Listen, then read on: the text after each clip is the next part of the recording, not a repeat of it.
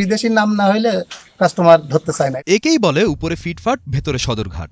মোড়কের গায়ে made in USA China কিংবা মিশর লেখা থাকলেও এসব পণ্য তৈরি হয়েছে বাংলাদেশের কোনো এক ভেজাল কারখানায়। যত প্রকার বাজে ভেজাল কসমেটিক্স আছে কোনো ভালো জিনিস তার এখানে নাই। আর এমনই সব ভেজাল অলিভ অয়েল রং ফর্সা করার cream body spray body lotion সহ নিত্য প্রয়োজনীয় নানা প্রসাধনী উদ্ধার করেছে জাতীয় ভোক্তা অধিকার সংরক্ষণ অধিদপ্তর ও জাতীয় নিরাপত্তা গোয়েন্দা সংস্থা। আজ সোমবার দুপুর একটার দিকে চুয়াডাঙ্গার সদর উপজেলার দৌলতদিয়ার গ্রামে ফায়ার সার্ভিস পাড়ায় চালানো হয় এই অভিযান।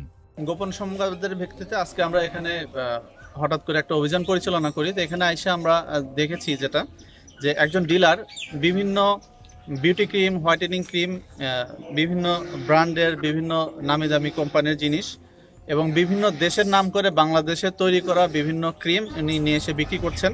এ সময় নকল প্রসাধনী মজুদ ও বিক্রির অপরাধে ওই ডিলারকে পঞ্চাশ হাজার টাকা জরিমানা করা হয়েছে।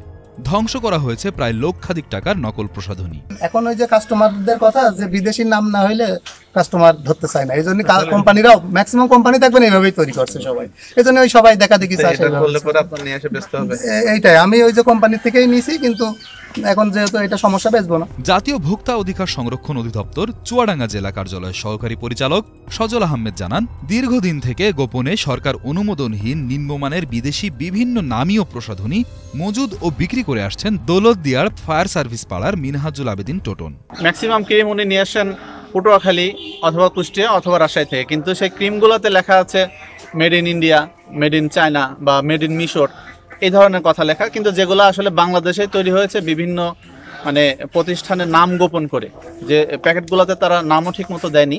তো এই যে সরকারের অনুমোদনহীন বিক্রয় নিষিদ্ধ সব ক্রিম উনি মানে আড়ালে বিক্রি করছেন এতদিন যাবত তো আজকে আমরা এসে হাতে নাতে এগুলো জব্দ করেছি এবং এর প্রেক্ষিতে অপরাধের ভিত্তিতে আমরা তাদেরকে পঞ্চাশ হাজার টাকা জরিমানা করেছি এবং প্রায় লক্ষাধিক টাকার এই ভেজাল ক্রিম আমরা জব্দ করেছি, এগুলো আমরা এখন ধ্বংস করে দিব। বিশেষজ্ঞদের মতে নকল প্রসাধনীগুলোয় ইচ্ছামতো রাসায়নিক ব্যবহার করা হয়। এসব রাসায়নিক বেশি মাত্রায় প্রয়োগের ফলে মানবদেহে ক্যান্সার, অ্যালার্জি, ত্বকের প্রদাহ, কিডনির ক্ষতিসহ বিভিন্ন রোগের সৃষ্টি হয়। আর শিশুদের জন্য এসব প্রসাধনীর পার্শ্ব প্রতিক্রিয়া আরও বেশি মারাত্মক।